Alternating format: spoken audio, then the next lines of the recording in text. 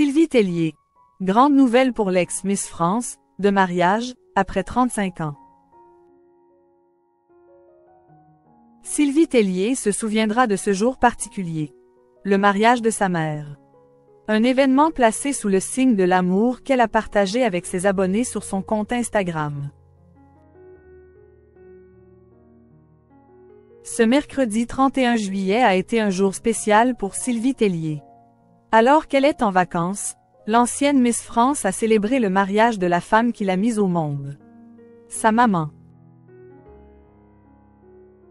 Un heureux événement qu'elle s'est empressée de partager en story Instagram. Sa mère, vêtue d'une magnifique robe blanche, donne voile et donne bouquet de fleurs, apparaît dans la vidéo. Elle se trouve dans une voiture dont le conducteur est l'époux de Sylvie.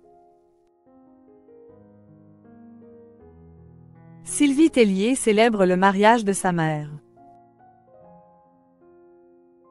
La mariée, somptueuse, est prête à épouser son amoureux après 35 ans de vie commune, a écrit Sylvie Tellier, fière de vivre ce moment magique.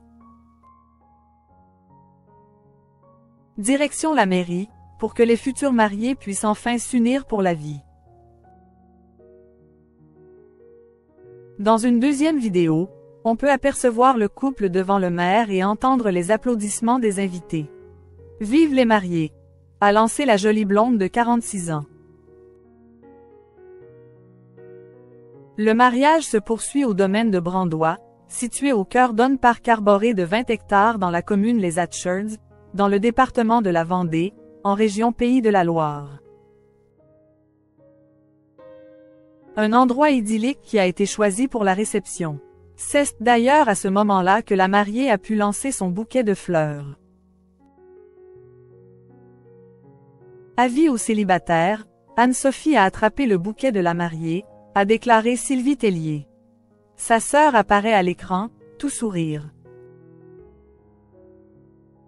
Un père absent. Aujourd'hui, Sylvie Tellier est particulièrement émue de voir sa mère épanouie, surtout après les périodes compliquées qu'elle a traversées. Alors qu'elle était âgée de 10 ans, son père a décidé de faire ses valises et de partir, pour ne plus jamais revenir. Une séparation qui a été difficile à surmonter pour sa mère. Elle se souvient l'avoir vue triste toute sa vie, avait-elle confié dans les colonnes du Parisien. Parce qu'elle s'est retrouvée toute seule à 40 ans, au chômage, sans fric, avec trois filles, a-t-elle ajouté. Quant à son père, l'ex-patronne des Miss n'a jamais été réellement proche de lui. Je l'ai invité à mon mariage et ai eu quelques contacts avec lui par le passé, mais, Aujourd'hui, je n'en ai plus. Et ce n'est pas de ma volonté, avait-elle confié à Closer.